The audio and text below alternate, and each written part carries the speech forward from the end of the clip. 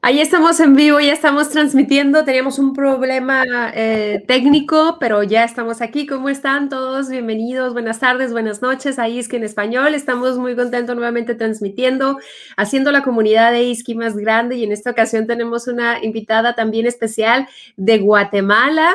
Ella es Yolanda López, la ingeniero Yolanda López. ¿Cómo estás, Yolanda? Bienvenida. Muchas gracias. Bien, bien, todo bien por acá, gracias.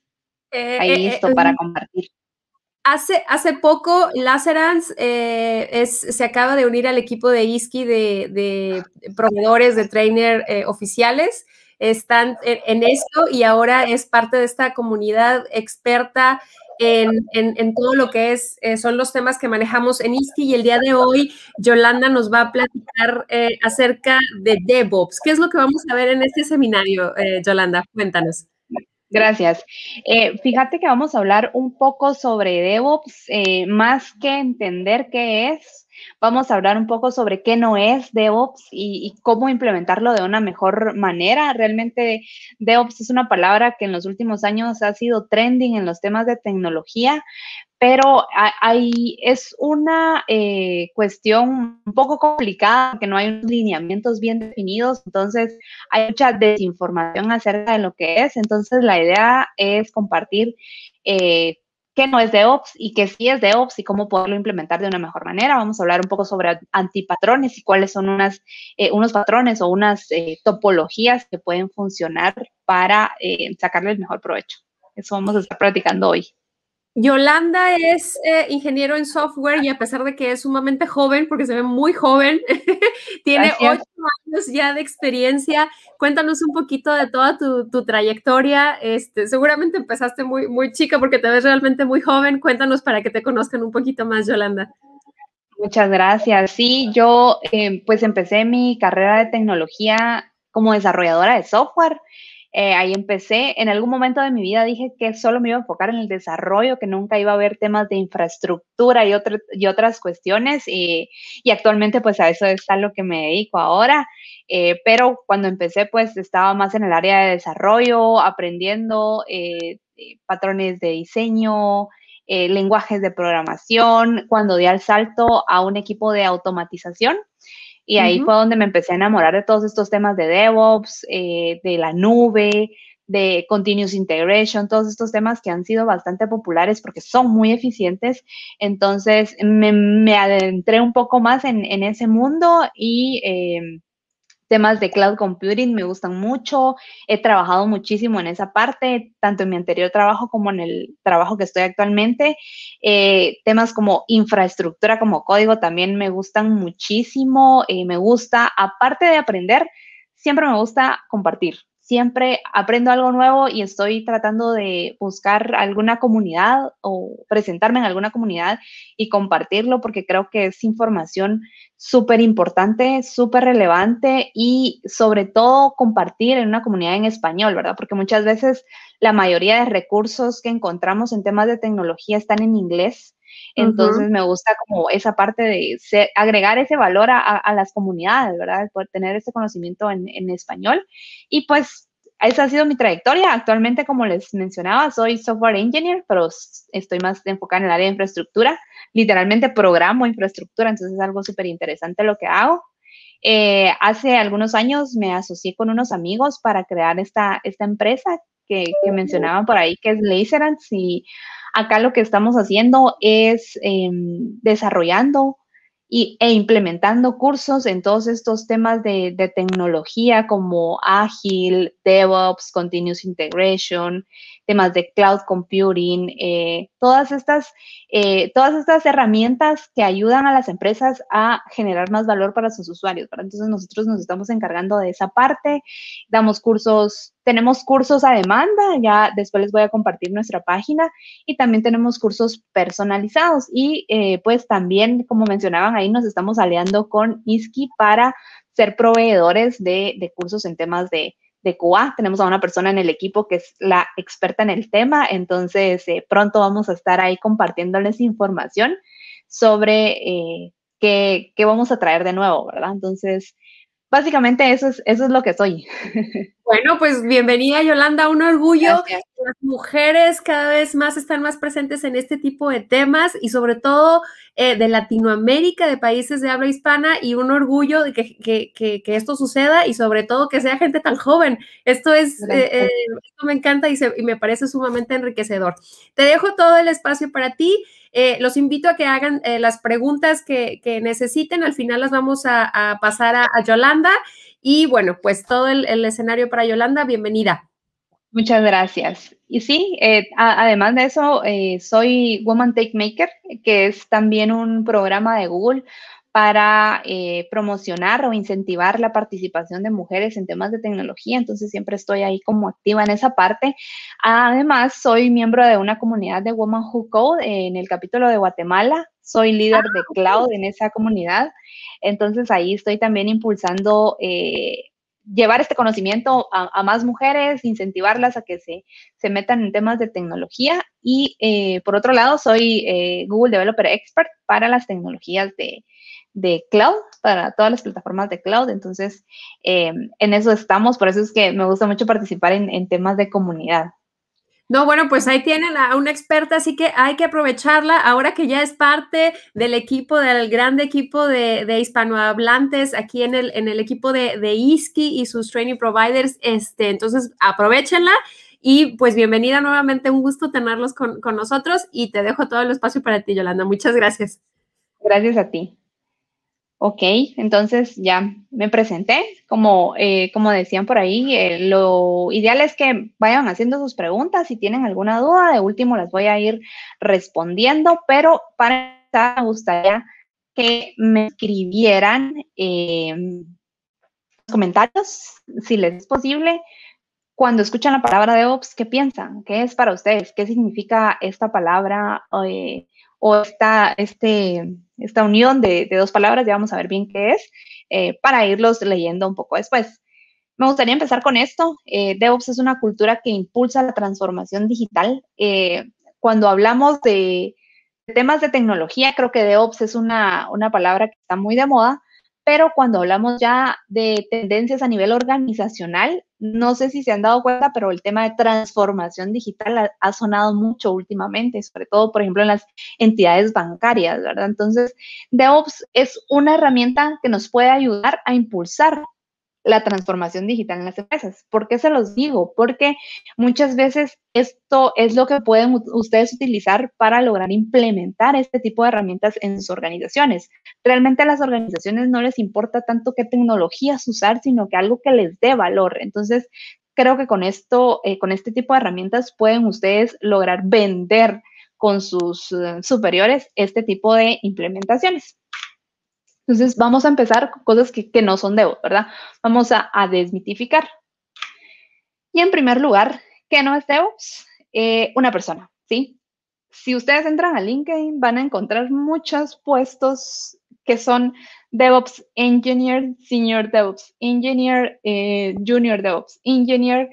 Sin embargo, DevOps no es una persona. El hecho de que en una organización o en un equipo haya una persona contratada con el título de DevOps no quiere decir que esa empresa esté implementando DevOps o ya sea una empresa eh, DevOps, por decirlo así, ¿verdad? Entonces, el primer, eh, la primera cuestión que quisiera desmitificar es que DevOps no es una persona. Entonces, eh, hay como un poco de,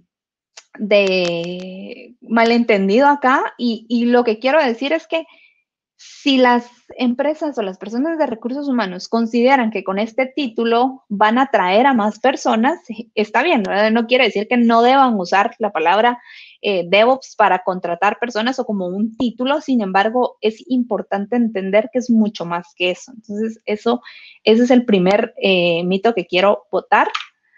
Luego eh, están las herramientas no son las herramientas. Yo puedo implementar cualquier herramienta de integración continua, por ejemplo, como Jenkins, Azure DevOps, Circle CI. Eh, hay varias que han surgido ahora. Sin embargo, eso no quiere decir que yo esté implementando DevOps, ¿verdad? O sea, es mucho más que eso. DevOps no es una herramienta.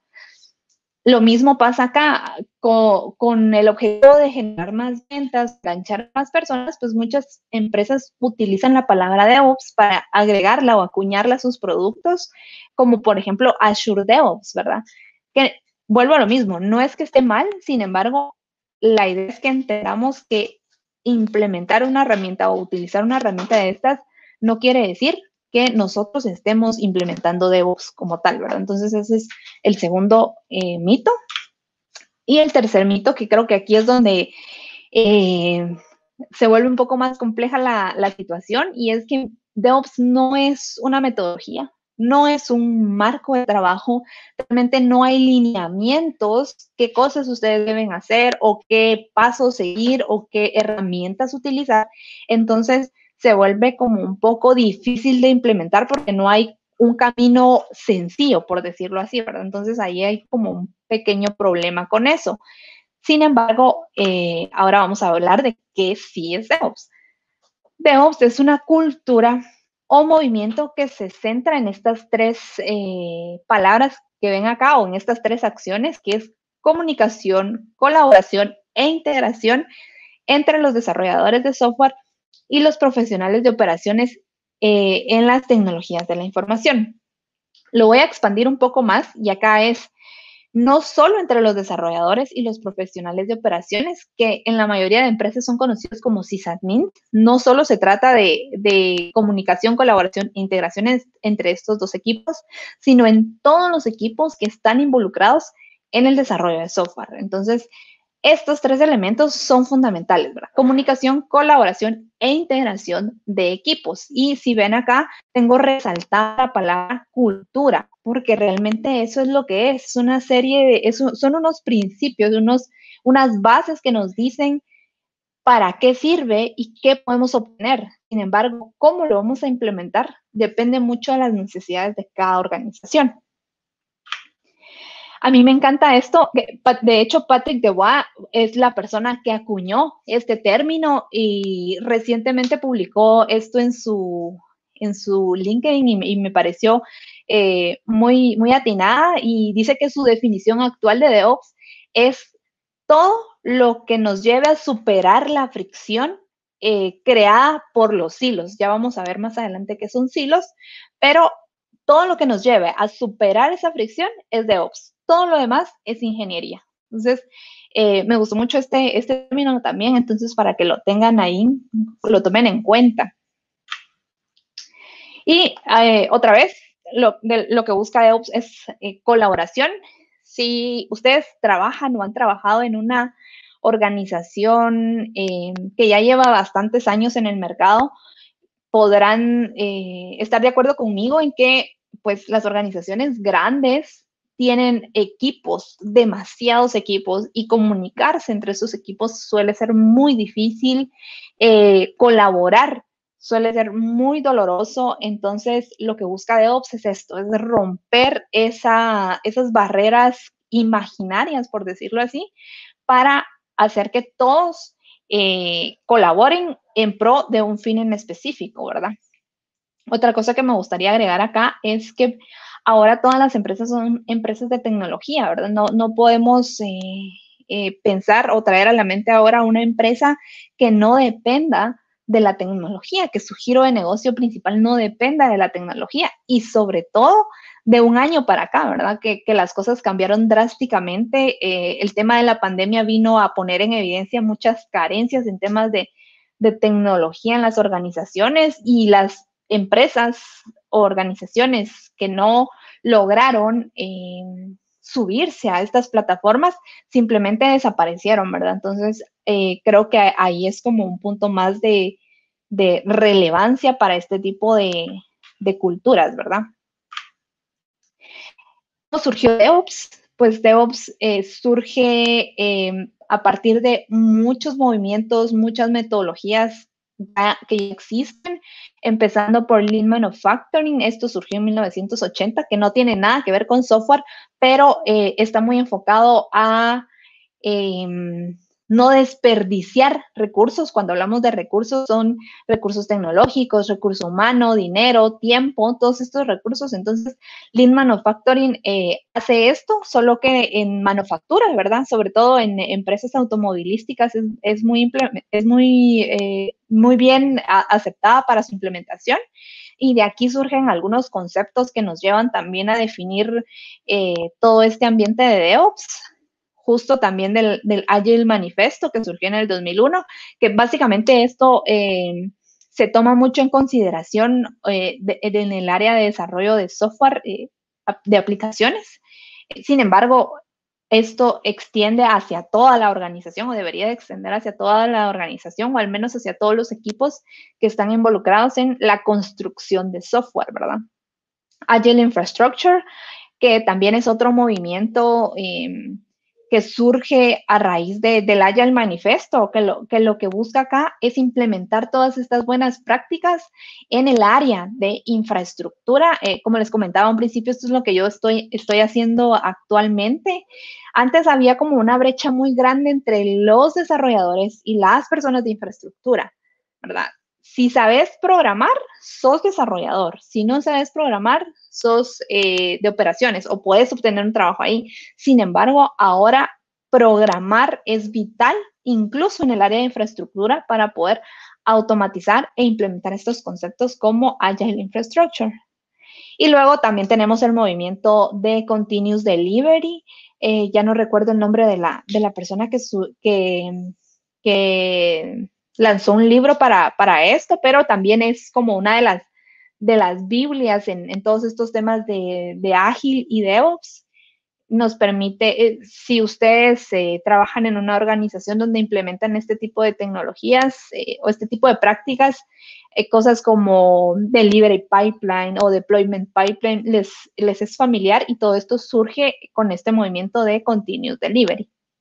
Y por último, Toyota Kata, el, movimiento también de Toyota Kata, que aporta un poco a, toda, a todo este movimiento de DevOps, que acá en lo que nos enfocamos o, lo que se enfoca esta, este, este movimiento es en eh, mejora, mejora continua, aprendizaje continuo, que es muy, muy importante también.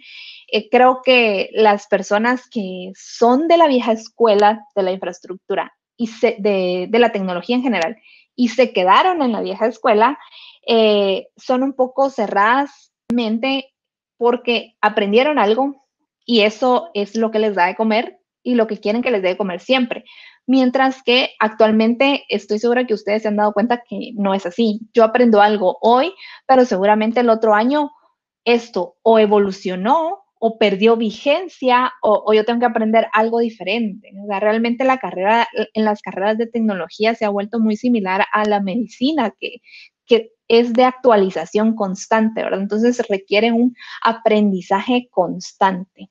Entonces, esto es como todos los, eh, movimientos que, em, que dieron vida o, o, de acá sale algo para eh, todo lo que es DevOps. Ahora vamos a hablar un poco sobre los antipatrones, que estoy segura que todos han escuchado más de alguno de estos o en sus organizaciones implementan alguno de estos.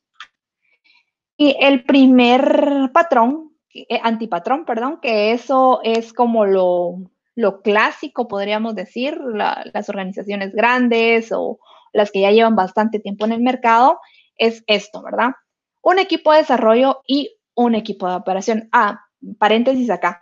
DevOps, eh, si no lo han notado, o para los que nunca habían escuchado de esto, se forma de la palabra Development and Operations, ¿verdad? realmente eso es DevOps. No, DevOps no tiene un significado específico, sino que es una, es, son es acrónimo de un par de palabras, que es DevOps and eh, Operations. Y eh, es adrede, ¿verdad? Porque la idea es unir estos dos equipos, pero como les digo, no solo estos dos equipos. Bueno, otra, otra cosa que se me olvidó desmitificar, cuando hablamos de development y operation, la mayoría lo ve como dos equipos, pero no es así. No son dos equipos, son dos áreas completamente, eh, podríamos decir que diferentes, y en cada área hay más equipos. Algo que siempre preguntan es ¿Y QA en dónde entra? ¿Sí? QA es un equipo que puede ir en el área de desarrollo, incluso puede ir en el área de operaciones si estamos implementando eh, em, infraestructura como código y todas esas eh, prácticas que, nos permiten entregar más rápido e infraestructura. Entonces, todo, todo eso puede ir en cualquier, en cualquier área, ¿verdad? lo ideal acá es que entendamos que son áreas y no son equipos. QA, por ejemplo, normalmente siempre va en el área de, development, pero eso no impide que pueda haber eh, en el área de operaciones también otro equipo de QA. Entonces, cuando hablamos de DevOps, estamos hablando de áreas y no de equipos específicos. Y luego tenemos, este creo que es el, el antipatrón más común, según mi percepción, y es que lo que hacemos es crear un equipo de DevOps, ¿verdad? ¿Qué hacemos ahí? Lo que estamos haciendo es creando un silo más, en lugar de, buscar integrar y, buscar que los equipos integren, se integren y colaboren entre sí, lo que estamos haciendo es agregando una línea, una línea divisoria más que es un equipo de Ops. Recuerden esto, cada vez que, agregamos un nuevo equipo, que creamos un nuevo equipo, eh, por naturaleza estamos creando un nuevo silo, porque ya es una organización diferente. Entonces, agregar un equipo de Ops realmente es agregar un silo. ¿verdad? Entonces, esto es un antipatrón y desde mi perspectiva, quizás el antipatrón más común. Luego tenemos este, en donde los de el área de development se creen autosuficientes y dicen que ellos no necesitan ops.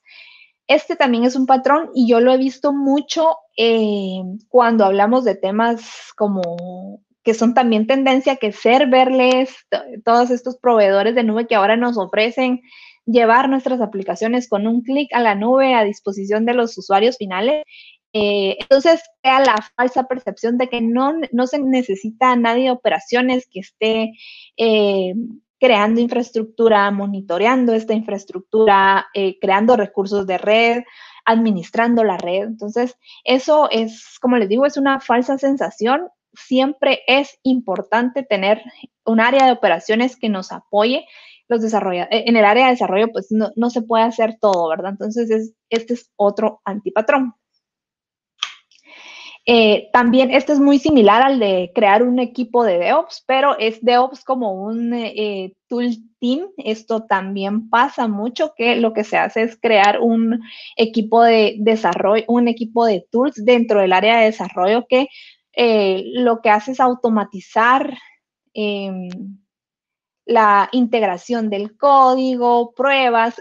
Digamos que no es que esté mal, sin embargo, lo que buscamos, recuerden, es integrar equipos, ¿verdad? Lo que, lo que buscamos es que todos trabajemos em, bajo un mismo objetivo. Entonces, no es únicamente de crear un equipo adicional. Esto puede agregar cierto valor, pero no nos va a quitar los hilos que queremos quitar. También esta es otra clásica que es un rebrand de los sysadmins, es decir, que el, equipo donde están los sysadmin o todos los que se encargan de operaciones están ahora, eh, ya no se llaman así, sino que se, se llaman DevOps, ¿verdad? Solo les cambian el nombre, pero la cultura sigue igual, la comunicación sigue igual y no hay ninguna mejora más que ahora en el, si vemos el diagrama organizacional, vemos que el, departamento se llama DEOPS y ya no operaciones, ya no eh, el nombre que tenía antes. Entonces, este también es otro patrón, eh, otro antipatrón. Y ahora vamos a ver entonces las topologías o los patrones que sí nos pueden apoyar eh, para implementar o para tomar todas estas ventajas. Eh, algo que me gustaría agregar también es que todo eso no me lo estoy inventando yo, por supuesto. Eh, hay, una página, hay una página que se llama devopstopologies.com y ahí es donde ustedes van a, si ustedes quieren eh, aprender un poco más o entender un poco más estos patrones y antipatrones, ustedes pueden ir a esa página y ahí van a ver detallado eh, todos estos eh, temas de los que estamos hablando ahora. A raíz de esto surgió un libro que a mí me gusta mucho y que siempre ando recomendando que se llama Team Topologies, que es uno de los autores, es el que creó esta, estos patrones y antipatrones de DevOps La verdad es que el libro es muy, muy bueno y nos ayuda a entender. El libro no habla de ninguna tecnología, sino es muy enfocado, literal, como su nombre lo dice, Team Topologies, a estructurar o cómo deberían de estar estructurados los equipos para poder agregar más valor. Entonces es, es bien interesante cómo lo, cómo lo abordan estas dos personas, dos autores, se llama Matthew Skeleton uno y Skeleton creo yo que es, y Manuel Pais. Entonces les recomiendo ese libro. Ahora vamos a entrar a ver qué sí es DevOps o cómo lo podemos implementar de una mejor manera. En primer lugar, tenemos una colaboración entre el área de desarrollo y el área de operaciones. esta es, mi percepción es como el, el patrón más fácil y que puede generar más valor de forma inmediata. No necesitamos crear un equipo nuevo, no necesitamos, incluso no necesitamos contratar personas nuevas. Lo que sí necesitamos es eh, que las personas que ya están en nuestros equipos entiendan esto. Entonces, algo muy importante, tanto para implementar este patrón o el resto de patrones que vamos a ver, es educación, ¿sí? Es súper importante educar a nuestros equipos, a, nuestros colaboradores, para que entiendan qué es lo que realmente queremos o qué es lo que realmente estamos buscando. Lo, lo que pasa muchas veces es que hay una persona que sabe todo esto y lo quiere implementar pero una persona no lo va a lograr implementar si no logra que el resto de personas entiendan el por qué o eh, estén eh, enteradas de qué beneficios se pueden tener, qué ventajas, todo eso, ¿verdad? Entonces, súper importante la educación, ¿verdad? Entonces, em, esto es, ah, acá como dice abajo, es más, ah, em, es como más viable en empresas que tienen un nivel alto de eh, nivel, ah, un nivel alto en el en las eh, skills técnicas de, lo, leadership, porque, eh, como les decía, e, ellos entienden realmente y aparte de entender, saben cómo transmitirlo hacia abajo, ¿verdad? Entonces, puede implementarse de una mejor manera o al menos más sencillo en este tipo de organizaciones. Luego tenemos este, que es como, yo creo que el primero es como la tierra prometida. Eh, creo que en el texto dice algo muy similar en, la página, si ustedes van a, ver la página, esto es como ya la tierra prometida, ¿verdad? Lo, que nosotros quisiéramos lograr, pero esto ya es em, muchísimo más, e, esto genera mucho más valor porque es, estamos hablando de que los dos, las dos áreas están eh, están compartiendo todas las responsabilidades de operaciones, Entonces, ¿qué quiere decir esto? Muchas veces pasa que los desarrolladores entregan algo a la gente de eh, operaciones y se desentienden completamente de lo que, va, a suceder después, ¿verdad? No saben cuándo van a implementar sus cambios, cuándo van a liberarlos o, o qué pasa, ¿verdad? Ellos les piden una funcionalidad, la hacen y la entregan y luego se olvidan de eso. ¿sí? Muchas veces pasa que los, los eh, hay algún cambio de, de, versión de algún paquete y estas cosas ni siquiera son informadas a las personas de operaciones y cuando lo implementan pueden tener errores que ellos van a tratar de resolver por sí solos en lugar de acudir a el desarrollador para apoyo, ¿verdad? En este modelo también se sugiere que los desarrolladores entren en la línea de soporte, es decir, eh, las personas que son sysadmin o que han trabajado en el área de operaciones saben que tienen una rotación o un calendario en el cual tienen que estar alguno disponible 24/7 por cualquier problema, ¿verdad? Porque ellos son la primera, eh, la primera línea si algo sale mal. Pero lo que sugiere esta eh, esta, este patrón es que también los desarrolladores entren en esas rotaciones, ¿verdad? ¿Por qué? Porque de esa forma ellos van a estar más conscientes de que no solo es desarrollar, no solo es código, sino estamos hablando de todo, eh, todo el negocio prácticamente. Entonces, eh, ahí ya hay como un sentido más de compromiso hacia lo que se está entregando. Este modelo eh, casa más con empresas o con organizaciones que no tienen tantos servicios, sino que son eh, pocos servicios y todos los servicios están integrados. Eh, podríamos decir que estamos hablando de una sola aplicación, ¿verdad? No, no de tantas aplicaciones, entonces esto es mucho más fácil de implementar en ese tipo de organizaciones. Luego tenemos em, Ops eh, como infraestructura, como servicio. Acá lo que, de lo que se trata es de em, pues crear o esto es más enfocado a organizaciones que ya están en la nube, ¿sí? Porque lo que busca es que el departamento de eh, desarrollo o, que el departamento de operaciones pueda brindar herramientas al resto de la organización como self-service, ¿sí? Es decir, que si alguien necesita una máquina virtual, en lugar de pedirla, la, ya hay un portal en donde puede ir y él mismo crear su máquina virtual con todos los requerimientos que él necesita y con todas las especificaciones que son aceptadas por las personas de operaciones, ¿verdad? Entonces, puede incluso haber un equipo del área de desarrollo que automatice ese, ese tipo de solicitudes. Entonces, a eso se refiere este tipo de patrón. Es un poco más complejo porque em, requiere tal vez eh, skills muy específicos en las personas, pero es algo que puede funcionar también. Eh, DevOps como un servicio externo. Aquí, aquí podemos hablar de algo como DevOps as a Service. ¿Qué quiere decir esto? De que yo voy a contratar a un equipo eh, externo para que me apoye a automatizar, a educar a las personas y todo lo que se tenga que hacer, ¿verdad? Algo importante con esto es que eh, aquí lo que estamos haciendo es básicamente tercerizando.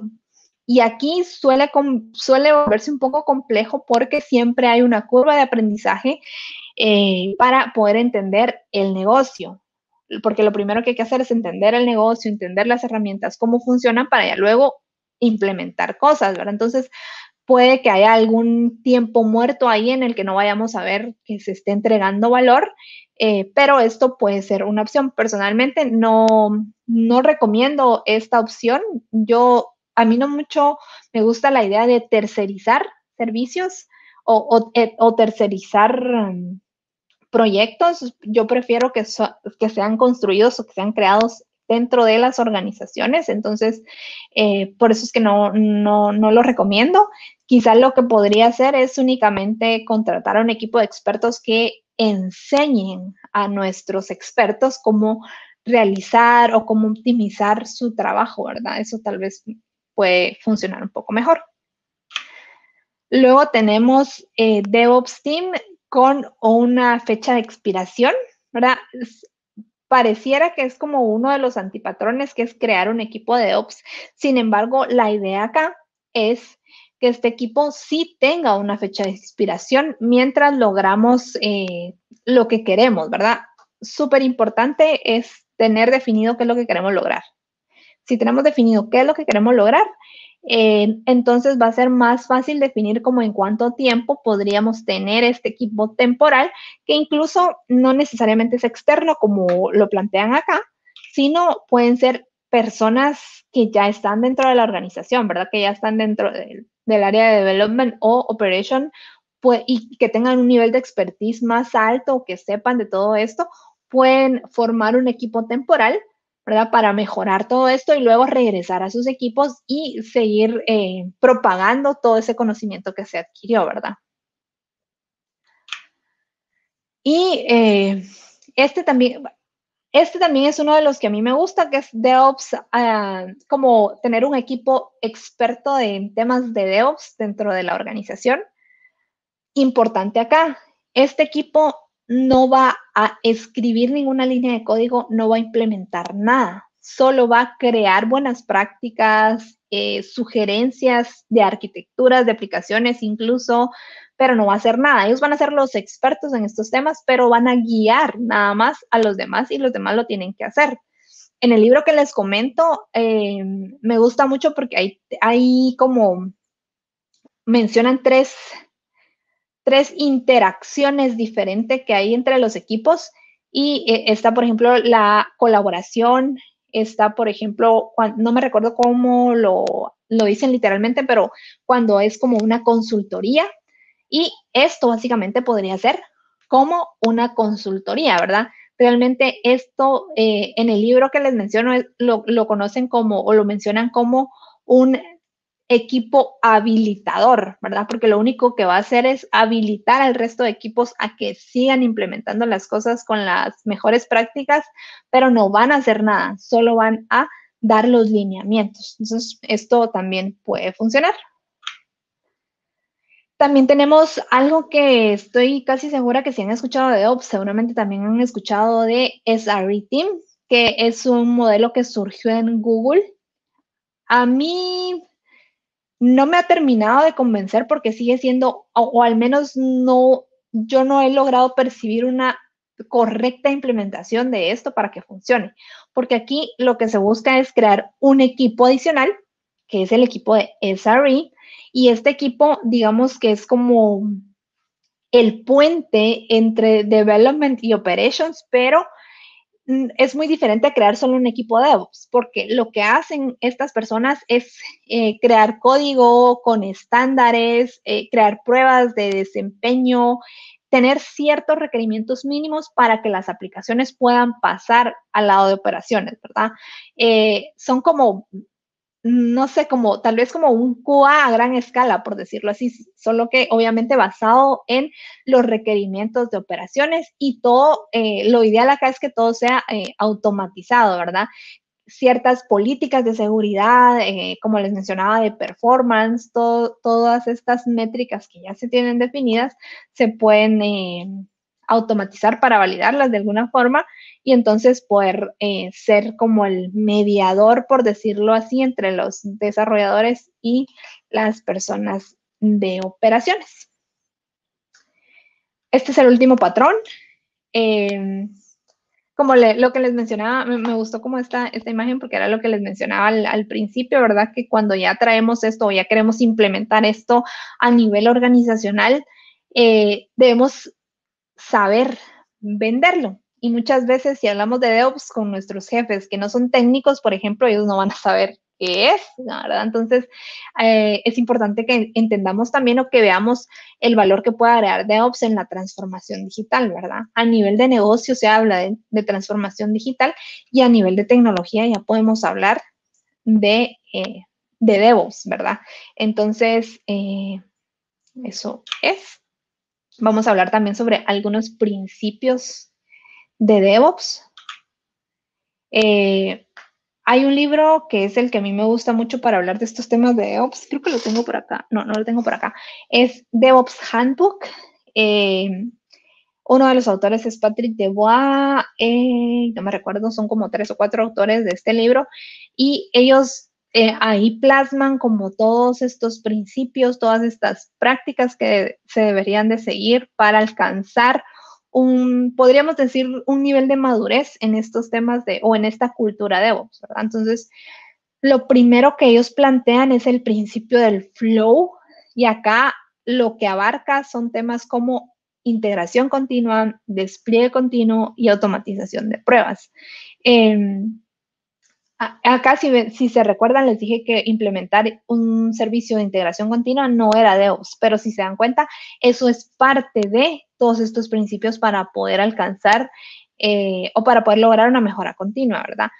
Prácticas como integración continua, despliegue continuo y la automatización de pruebas. Esto nos permite acelerar el flujo eh, de desarrollo, no solo de desarrollo, sino de eh, entrega hacia el usuario final. No necesariamente tienen que tener todo automatizado, obviamente eso es lo ideal, pero por algo se puede empezar. Entonces, lo principal siempre es la integración continua. La integración continua básicamente es eh, literal integrar continuamente nuestros cambios hacia nuestro código base principal. Muchas veces pasa que nos lleva dos meses desarrollar una funcionalidad y en esos dos meses todos los cambios los tenemos en nuestra máquina, no están publicados en ningún lado. Entonces, si alguien más está trabajando en paralelo a nosotros, eh, no va a tener conocimiento de lo que yo estoy haciendo porque no, lo, no he publicado mis cambios en un eh, repositorio centralizado. Entonces, la primera práctica es, es esa. Eh, la mayoría creo que han adoptado Git en sus diferentes versiones o sabores para servidores de continuous integration. Entonces, no solo es importante, perdón, para sus, su control de versiones, no solo es importante tener un servidor de control de versiones, sino saberlo utilizar.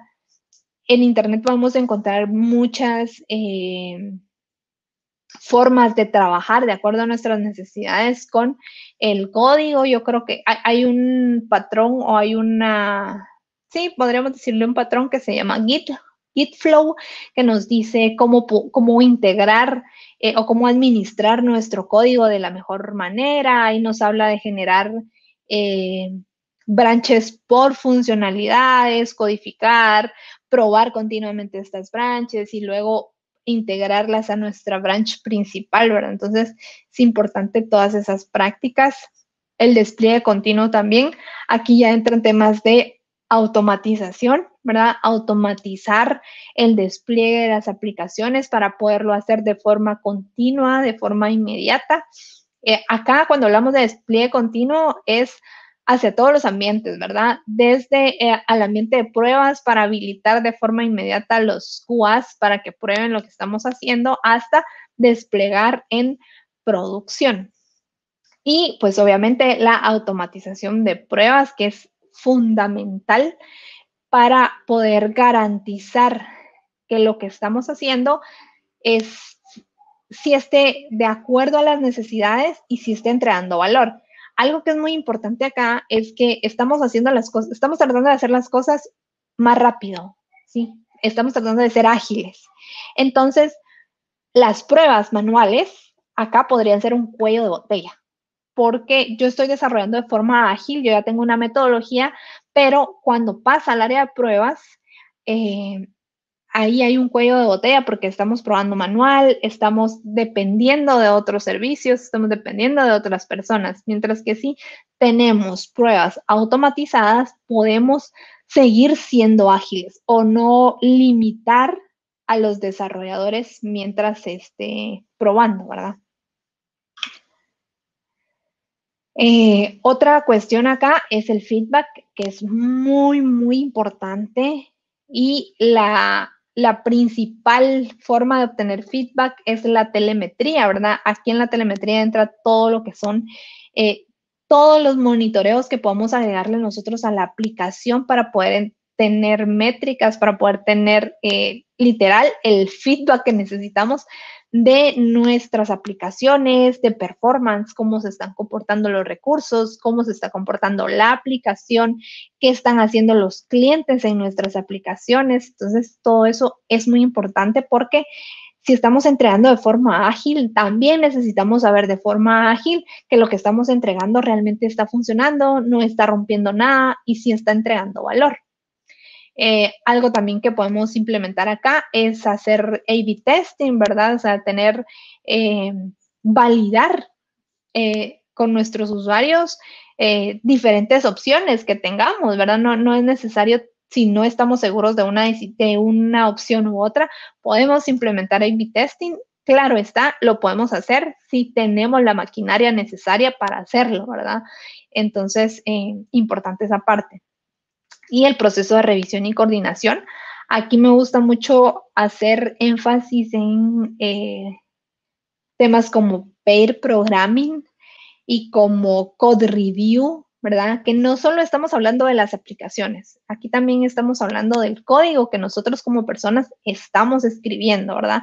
Yo no puedo, em, yo hacer algo y yo misma decir que lo que estoy haciendo está bien. ¿Sí? Yo necesito de un compañero, un peer que me diga eh, o revise lo que estoy haciendo antes de publicarlo, ¿verdad? Entonces es súper importante que nosotros tengamos esa cultura de revisar el código. Eh, a, veces hay procesos eh, que tienen em, un paso en el que no pasa, no se puede em, publicar el código en nuestra branch o nuestro código base si no pasa por ciertas revisiones de ciertas personas, por ejemplo, ¿verdad? Entonces, eso puede ser una buena práctica, pero también tenemos que ser responsables, que si nosotros vamos a revisar un código, lo hagamos bien. Muchas veces pasa de que no tenemos tiempo y entonces solo le damos el chequecito de que está bien y no leemos lo que estamos aceptando, ¿verdad? Entonces, también es importante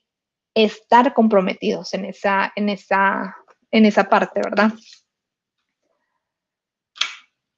Eh, y también está la parte del el aprendizaje continuo, ¿verdad? Promover la mejora continua en el trabajo, y era lo que también hablábamos un poco al principio. Realmente ahora no podemos asegurar que ya lo sabemos todo, siempre vamos a estar aprendiendo algo nuevo, que eso nos va a llevar a mejorar continuamente. Entonces, eso es muy importante que las empresas estén conscientes de este aprendizaje continuo porque también los empleados necesitan apoyo para esto, ¿verdad? Puede ser apoyo económico, puede ser tiempo para seguir aprendiendo, porque al final lo que va a pasar es que ese, conocimiento, ese aprendizaje va a generar valor para las organizaciones, ¿verdad? Entonces es importante notar esto.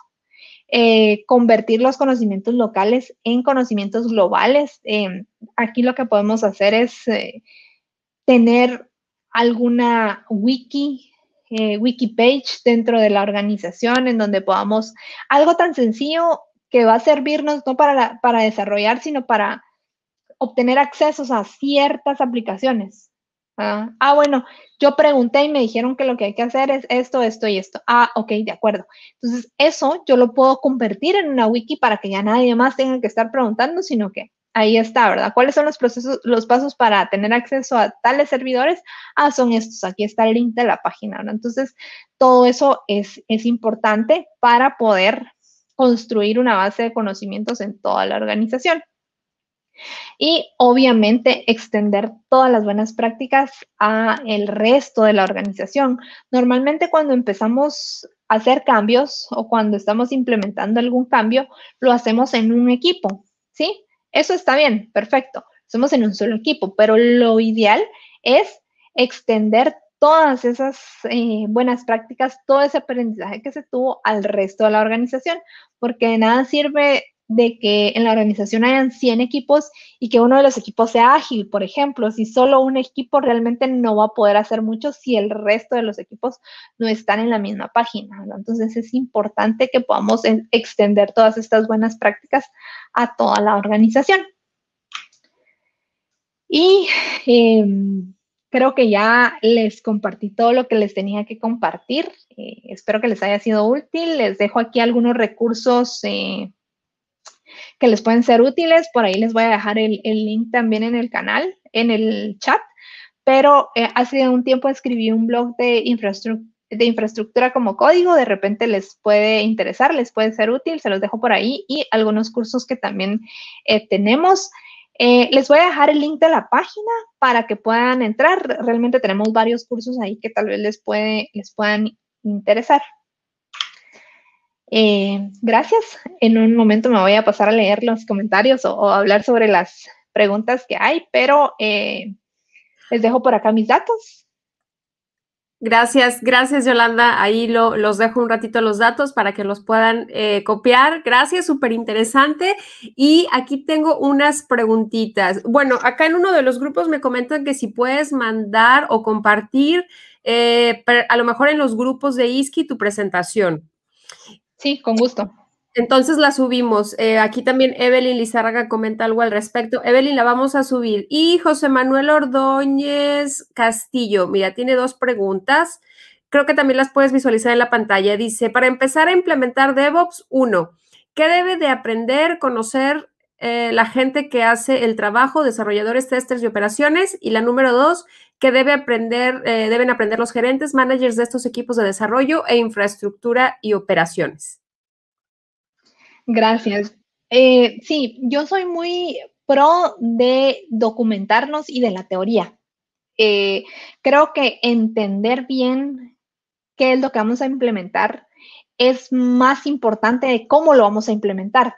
Porque cómo voy a implementar yo una tecnología, yo puedo ir a Google, buscarlo y seguro me va a aparecer los pasos, pero ¿por qué yo la voy a implementar? ¿O qué requerimiento estoy supliendo? ¿Qué, dolor estoy eh, queriendo eh, eliminar con esto? Entonces, yo soy muy fan de primero entender la teoría, entonces lo que debemos saber en esto, si queremos implementar tanto para managers como para desarrolladores, es temas como integración continua, despliegue continuo. Hay un libro, se los voy a compartir en un ratito, que es, eh, fue escrito hace como 10 años o un poco más, tal vez, de temas de continuous integration.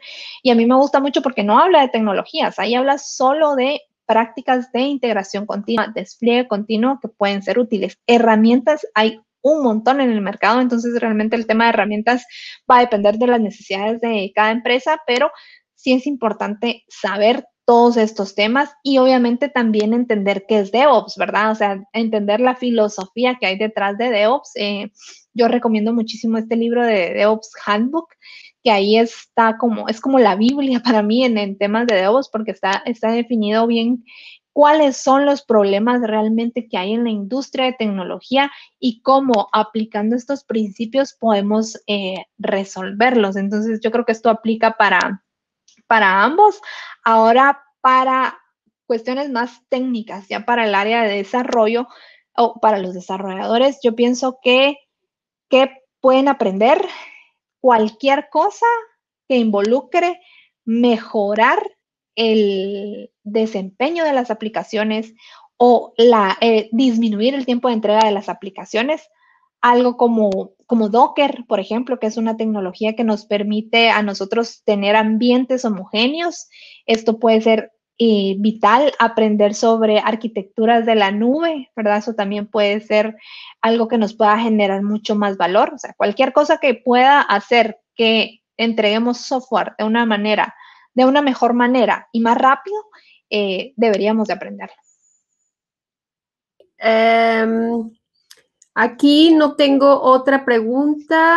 Eh, bueno, José Manuel, espero que, haya quedado claro y si no, escríbenos por aquí. Y bueno, vamos a esperar a, Yolanda cuando terminemos el, webinar para que ella pueda eh, poner todos los links que ha comentado durante la presentación. Y por acá, por el grupo, me comentan también, bueno, te mandan una felicitación, eh, que muchísimas gracias, súper interesantes estos temas. Me preguntan el teléfono de Lacerans, eh, está aquí en los comentarios, es el WhatsApp directamente y eh, también pusimos el email ah, y el blog, la, el, el, el web page para que puedan tener acceso a Lacerans. Y eh, bueno, por acá, te, por otro de los grupos te mandan felicitaciones y ya no tengo más preguntas. Aquí me dice José Manuel Ordóñez Castillo, quedó claro, perfecto, muchísimas gracias. Pues yo creo que entonces eh, es, es, es, hora de, de, cerrarlo. No sé si si te, ah, mira, acá tengo otro, otro comentario de Andrea Grimaldi, también directo, dice, muy buen webinar, felicidades. No sé si algo más quieras agregar, Yolanda, eh, ¿cómo te sentiste? Es la primera vez que, estás con nosotros y yo creo que es la primera de, de, siguiente, de los siguientes webinars que van a estar aquí con, con Lázaro e Iski.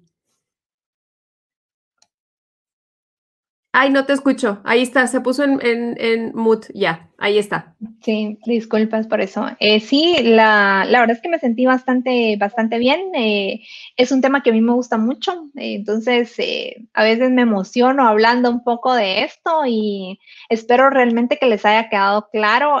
acá nuevamente les dejo mi contacto por cualquier duda que tengan o cualquier eh, comentario adicional y yo con gusto eh, estoy, estoy abierta a, escuchar comentarios o a discutir sobre estos temas porque, como les menciono, eh, me gusta mucho, me gusta mucho la teoría sobre estos temas, obviamente la práctica también. Entonces ahí cualquier cosa me pueden escribir y con mucho gusto podemos platicar sobre esto. yo le voy a les voy a compartir mi, mi presentación para que la puedan ver eh, y les quede un poco más claro.